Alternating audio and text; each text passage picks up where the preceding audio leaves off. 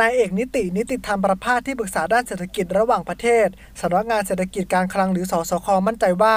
ภาพรวม GDP ไทยในปีนี้ จะยังคงขยายตัวได้ตามคาดที่ร้อยละสามแม้จะมีปัจจัยลบจากเหตุการณ์ระเบิด แต่ก็มีปัจจัยเสริมจากการเร่งผลักดันมาตรการกระตุ้นเศรษฐกิจของกระทรวงการคลัง โดยเฉพาะการเติมเงินเข้าสู่ระบบประชาชนที่มีรายได้น้อย และเกษตรกร ที่คาดว่าจะใช้งบประมาณสูงกว่า 4-5 หมื่นล้านบาท ทั้งนี้สสคได้ประเมินเบื้องต้นภายหลังเหตุการณ์ระเบิดที่แยกราชประสงค์ในช่วงที่ผ่านมา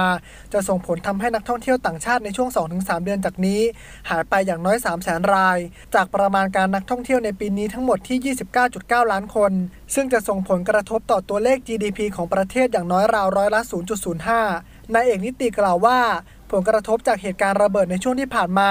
ไม่ได้ทำให้จำนวนนักท่องเที่ยวต่างชาติหายไปเป็นจำนวนมหาศาล อย่างที่หลายฝ่ายกังวลแน่นอน และเชื่อว่าภาคการท่องเที่ยวจะกลับมาสู่ภาวะปกติได้ในช่วงไฮซีซั่นนี้ ดังนั้นจึงเชื่อมั่นว่าภาคการท่องเที่ยวจะยังคงเป็นปัจจัยสำคัญ ที่จะเข้ามาช่วยพยุงเศรษฐกิจไทยให้ขยายตัวต่อได้ สำหรับภาพรวมการส่งออกในปีนี้ยังประเมินว่าจะติดลบร้อยละ 4 หลังจากช่วง 7 เดือนที่ผ่านมาตัวเลขการส่งออกติดลบแล้วร้อยละ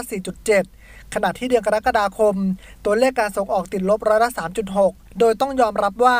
ภาคการส่งออกยังมีแนวโน้มชะลอตัวลงทั้งในด้านราคาและมูลค่า ซึ่งเป็นผลจากการชะลอตัวของเศรษฐกิจประเทศคู่ค้าสำคัญ โดยเฉพาะจีน ยุโรป และอาเซียน ขณะที่เศรษฐกิจในกลุ่มประเทศ CLMV กัมพูชา ลาว เมียนมา เวียดนาม และสหรัฐ มีทิศทางที่ดีขึ้น ก็เข้ามาช่วยสนับสนุนในส่วนนี้ได้บ้าง